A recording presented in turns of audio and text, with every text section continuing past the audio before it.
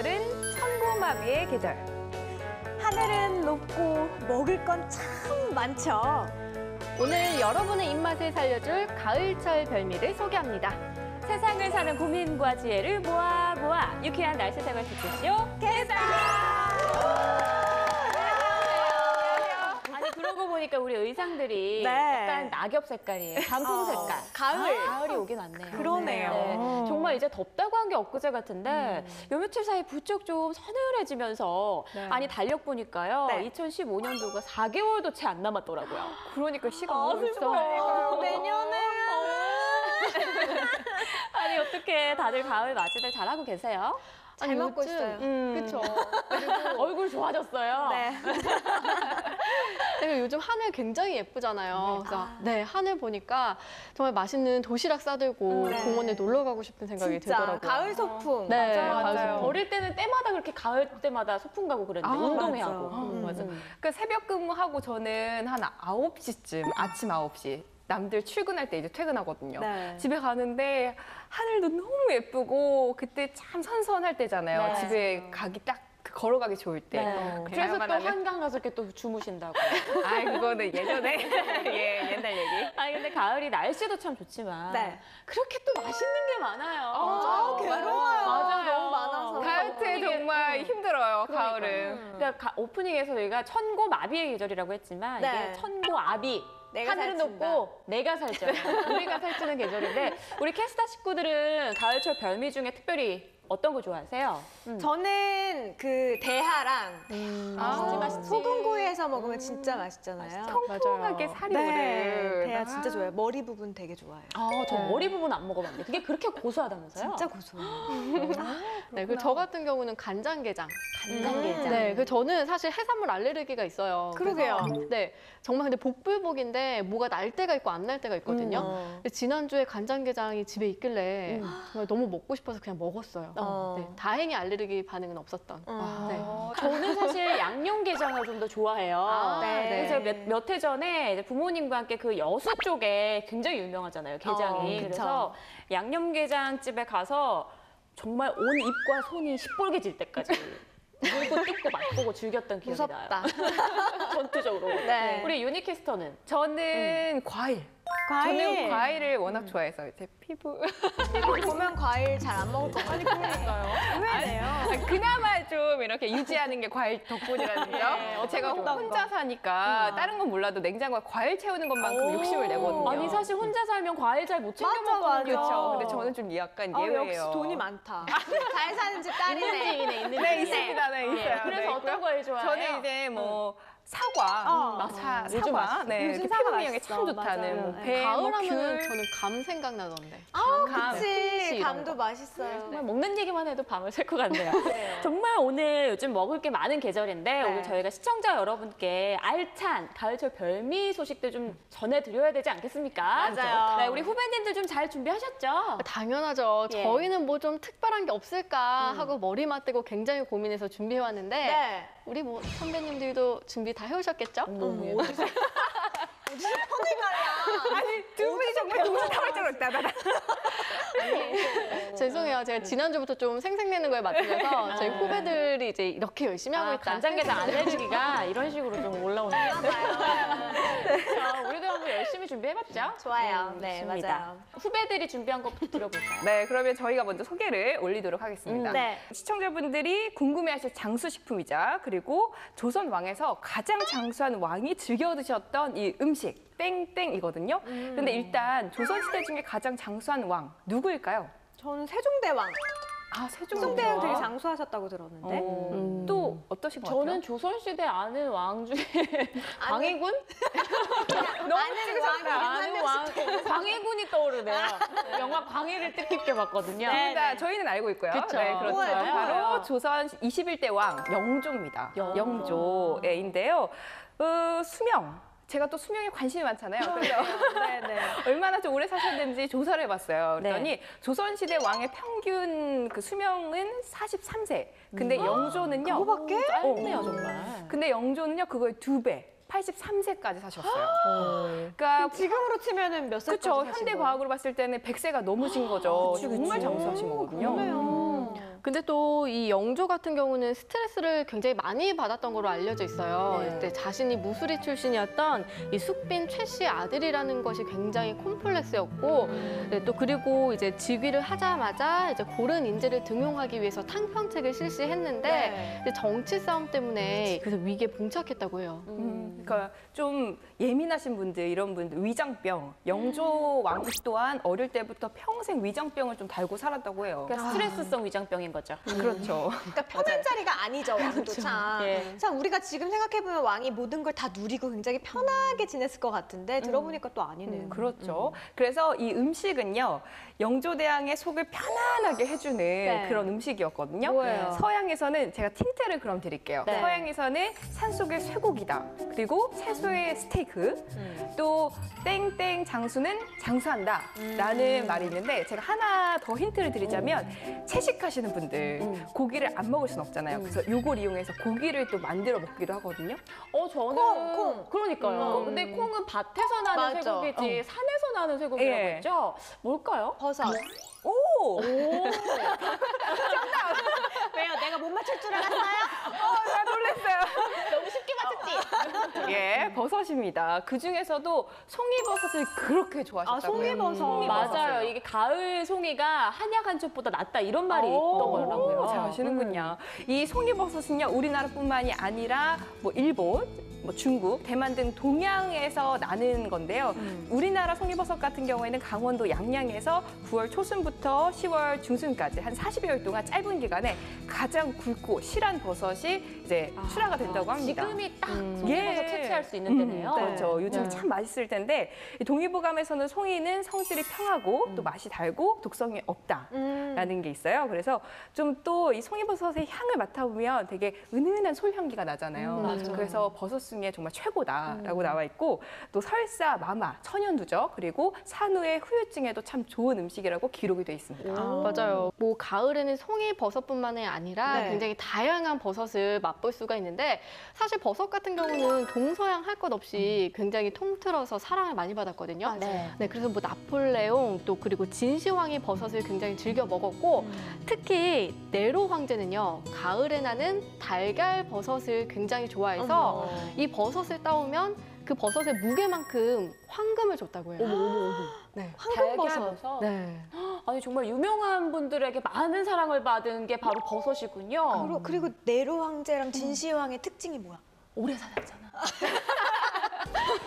여자도 많았잖아. 눈이 번쩍 뜨이시는데. 남편 해다 먹여야겠어. 그리고 버섯이 참 종류가 다양한 만큼 네. 요리법도 참 다양합니다. 일단 표고버섯. 표고버섯 어떻게 요리하세요? 표고버섯은 제가 또 요리를 하잖아요. 알려주세요. 하는 것 같진 그러니까. 뭐 이렇게 주변 도움을 많이 예, 받습니다. 그럼 제가 더 듣기 전에 말씀을 해드릴게요. 그냥. 네네, 해봐요. 음. 채소 육수에 그 내, 채소 육수를 내는데 감칠맛을 내는 그거, 역할로. 그거. 어, 어, 그거. 제가. 그래서 표고버섯을 이렇게 썰어가지고 냉동실에 넣어놔요. 어. 육수 낼 때마다 멸치랑 표고버섯, 건새우 해가지고 하면 진짜 어. 육수 아니, 맛이 그 향이 끝내줘요. 정말 좋다고 진짜. 하더라고요. 네. 음. 맞죠? 그리고 네 맞습니다. 바로 그거예요. 그리고 느타리 버섯 같은 경우에는 이제 볶음 요리에도 좋고 어. 찌개에 넣어 먹는데요. 맛있겠다. 근데 이 아까 말했던 송이버섯은 네. 조리할 때 주의를 해주셔야 돼요. 좀 그 맛과 향기를 그 오랫동안 가열을 한다거나 아니면은 좀 장시간 물에 담그면 향이 사라지잖아요. 그러니까 가장 좋은 방법은 살짝만 익혀서 어. 그 소금과 참기름 뚝 떨어뜨린 그 고기처럼. 어, 약간 예. 고개 이렇게 네. 찍어서 먹었을 때 가장 깊은 맛을 느낄 수 있다고 합니다. 가을철에 또 많이 나고 맛있는 게 버섯이라고 하니까 네. 요즘에 산으로 버섯 채취하러 가는 분들도 어. 많을 거 아니에요. 어. 근데 독버섯이 또 많이 위험하잖아요. 맞아요. 그런데 여러분들은 이 독버섯과 식용버섯 구분할 줄 아세요? 그냥 저희들이 알기로는 화려한 건 독버섯, 그러니까. 그리고 음. 벌레들이 먹지 않은 거, 깨끗한 거, 그거 독버섯 이렇게 네. 알고 있거든요. 아닙니다. 네, 아니고요. 일단 제가 판넬을 준비했는데요. 어. 일단 식용 버섯이 무엇인지 한번 맞춰보세요. 좋아요, 좋아요. 네, 아, 이렇게 짜잔. 사진으로 나와 있네요. 네, 일단 이거, 이거는 바로 짜자잔. 네, 느타리 버섯인데 이제 식용 버섯이고요. 예. 또 이것은 바로 화경버섯이라고 해서 이제 밤나무에서 굉장히 잘 자라는 버섯인데요. 너무 비슷해요. 그렇죠. 근데 이거는 어두우면 청색광을 내뿜는 바로 독버섯이라고 합니다. 근데 좀 정말 좀 수수하게 생겼죠. 맞춰볼게요. 두 번째 것도. 두 번째 거 이거. 네. 그게 뭔데? 그게 그게 독버섯 같아. 이거요? 네. 송이버섯? 이것은 어 맞아요. 어. 네, 이것은 바로 오, 송이버섯이고요. 잘 아시네요. 와. 네. 그리고 이거가 굉장히 비슷하게 생겼죠? 네. 이게 바로 독버섯인데요. 따라란. 네. 담갈색 송이 버섯입니다. 아. 네. 그리고 이게 무슨 버섯일까요? 혹시 되게 예쁘게 생겼죠. 아, 아까 말한 그 계란버섯, 달걀버섯? 달걀버섯 어, 달걀버섯. 맞아요. 근데 아. 독버섯 같은데요? 어. 그러니까요. 네, 굉장히 화려하게 생겼잖아요. 근데 이 달걀버섯 이게 바로 식용버섯이고 어머. 오히려 조금 더 수수하게 생긴 이 버섯 바로 개나리 광대 버섯이 독버섯입니다. 의외다. 아니 그죠. 근데 사실 이렇게 사진으로만 봐서는 네. 구별하기 굉장히 어려울 것 같은데요. 그러니까요. 음. 오히려 저희가 평소에 알던 상식이 잘못된 상식이었네요. 그쵸, 그쵸. 이것만 봤을 때는. 네. 그 보신 것처럼 좀 화려하고 또 벌레가 먹지 않는 것이 좀 독버섯이다. 어. 그거는 이제 잘못된 상식이에요. 아. 그리고 독버섯은 세로로 찢어지지 않는다라고 돼 맞아요, 있는데 맞아요. 사실 대부분의 버섯이 세로로 찢어집니다. 그래요? 어. 예. 그리고요 또 요리에 은수저를 넣었을 때 색이 변색이 되면 독버섯이다 하는데 네. 오히려 대표적인 맹독버섯인 도구산 광대버섯은요 음. 은수저를 넣었을 때 변색이 되지 않고요. 어머. 오히려 표고버섯으로 한 요리에서는 은수저로 넣었을 때 어머나. 변색이 되는 경우가 있대요. 그러니까 이거를 믿으시면 안 돼요. 그러네요. 정말 세상에 믿을 게 없네요. 그러니까. 버섯조차 음. 배신을 때릴 수 있다는 점. 어, 네. 그러니까요. 구별하기 진짜 어려운 것 같아요. 그렇죠. 이렇게 되면. 그리고 네. 우리나라 이제 산에서 서식하는 이, 이 산에서 나는 독버섯이 바로 90여 종이나 된다라고 해요. 근데 사실 우리도 그렇지만 일반인들은 독버섯이랑 식용버섯이랑 구분하기가 굉장히 어렵거든요. 맞아요. 그래서 산에서 채취하는 버섯은 절대 그냥 안 먹는 것이 가장 안전하다고 합니다. 네, 함부로 채취하지 않는 게 가장 안전하 겠군요. 그쵸. 네. 사실 몸에 좋고 좀 귀한 걸수록 가짜들도 많고 좀 비슷한 것들도 많고 하는 만큼 안전한 제철 버섯 드시고 건강 챙기시기 바랍니다. 네.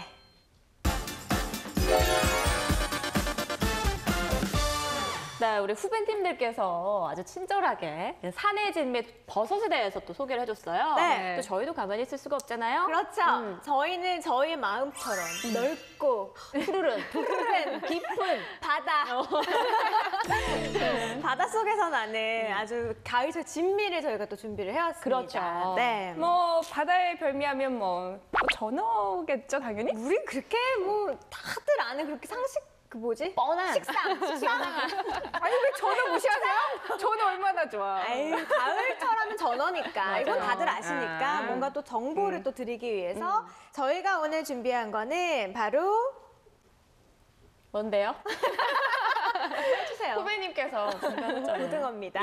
예. 네. 아니 근데 고등어는 정말 흔하잖아요. 가을철이라고 해서 뭐 특별히 맛이 있나요? 진짜 고등어 못 먹어본 사람이네. 이 사람. 그러니까 비싼 것만 먹었고. 그러니까 이런 속담이 있어요. 가을 고등어는 며느리도 주지 않는다. 아니 정말 듣는 며느리 기분 나빠요. 기분 나빠요. 아 왜 좋은 건 자꾸 며느리 안 주고. 그러니까. 어. 나쁜 것만 며느리 쪽. 왜 자꾸 봄볕에는 며느리 며느리 내보내고 좋을 때는 딸 내보낸다 그러고. 네 어찌됐건 그 정도로 맛있다. 음 고등어가. 더 슬프다. 아, 결혼하기 싫어진다 이 얘기 들으니까. 아니요, 저희는 되게 사랑받고 있잖아요. 그렇죠. 사랑받는 저희 며느리입니다. 시부모님들 얼마나 네. 잘해주시는데요. 그럼요. 야 넘어가겠습니다. 자, 맛있는 고등어를 그 가을철에 고등어가 맛있는 이유를 설명하기 전에 일단 고등어 하면 생각나는 거 어떤 생선? 등 푸른 생선. 그렇죠. 근데 등이 왜 푸른지 여러분도 혹시 생각해 본 적 있으세요? 고등어의 등이 왜 푸를까요? 저는 약간 주변의 그런 환경에 따라서 보호하기 위해서 색이 변하잖아요. 그러니까 고등어도 약간 자기를 보호하기 위한 그런 하나의 방법이에요. 대본 열심히 봤네요. 아니요, 저 진짜 딱 그걸 보고 본인의 정말 이미지를 위해서 방송 재미없게 한다. 이 정도 틀려줘야 되는 거 진짜요, 아니에요? 진짜 real. 자, 우리 유수민 캐스터 방송 네. 감좀 봅시다. 제가 해볼게요. 네. 네. 저는 배 같은 경우는 물 속에 계속 있잖아요. 네. 뿌른 거예요. 어. 뿌려서 하얘진 거고. 이제 푸른 이제 등 쪽 부분 같은 경우는 네. 차가워서 시퍼렇게 질린 거죠. 아, 그렇죠. 우리가 추우면 시퍼레지잖아요. 그러니까 어, 일리가 있네. 그렇죠.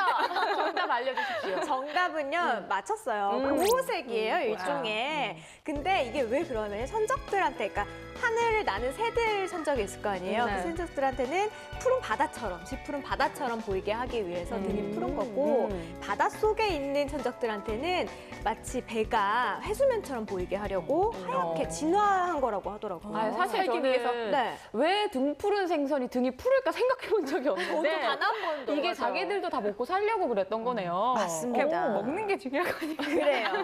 자, 그럼 여기서 퀴즈. 네. 고등어가 가을철에 가장 맛있다 라고 했는데 많은 분들이 고등어는 사시사철 맛있지 않은가 라고 생각하실 거예요. 음. 근데 이유가 있습니다. 바로 이것 때문인데요. 음. 고등어는 땡땡 때문에 가을철에 가장 맛있다. 뭘까요? 땡땡 두 글자요. 두 글자. 두 글자. 음. 저는 잠을 많이 자서라고 생각했는데 어. 그러면 폭면이라고 해야 되나요? 뭐라고 해야 되죠? 숙면이겠죠. 숙면 푹 자는 거? 어. 근데 우리가 스트레스 받으면 이거를 또 많이 해요. 저를 포함해서. 스트레스? 아. 쇼핑? 고등어 쇼핑하려고. 어우, 스트레스 쇼핑 많이 하죠. 스트레스 받으면 아이. 쇼핑만요. 아이 쇼핑만요. 싸움. 어. 아니면 이럴 수도 있을 것 같아요. 뭔가 살이 통통하게 올랐을, 올랐을 때가 이제 이렇게 알을 뱄을 네. 때니까 임신? 임신 스트레스 받으면 제가 임신합니다. 아 미안해요. 미안해요. 자, 폭으로 시작해요. 폭. 폭. 폭식! 폭식이에요. 아우, 내 답답해서 내가 아유, 정말 아유, 방송 정말. 못하네. 아니 아까는 맞춘다고 뭐라고 하고 안 맞춘다고 뭐라고 하고 어떻게 하는 거예요? 아유, 정말 그 고등어가 회유성 그 어류거든요. 네. 그래서 회유성 어류가 뭐예요? 다시 돌아오는. 다시 돌아오는 음. 거예요. 그래서 원래는 저쪽 먼 남, 남, 남태평양에 있는데 2월에서 3월경에 이제 제주도 연안으로 올라왔다가 음. 점점점 이제 북쪽으로 해수면이 좀 따뜻해지면서 점점점 북쪽으로 올라오고요. 그리고 알을 낳고 다시 이제 돌아가요. 음. 근데 이제 산란을 하고 난 뒤에 고등어가 이제 월동 준비를 하기 시작합니다. 그러면은 진짜 막 식욕도 막 이렇게 많아지고 해가지고 폭식을 한대요, 고등어가. 어, 그래서 이때쯤이 됐을 때 고등어가 가장 살이 통통하게 오르고 지방 함량도 20%나 더 높다고 하더라고요. 속하겠네, 더 맛이 좋겠네. 그쵸, 그쵸. 비만인 고등어. 비만 고등어. 네. 네. 그런데 이 고등어 이제 고등어 잘하는 이제 생선구이집을 가면은 등은 누렇고 또 어. 바삭바삭 하고 반대로 또 안에 촉촉해서 정말 맛있잖아요.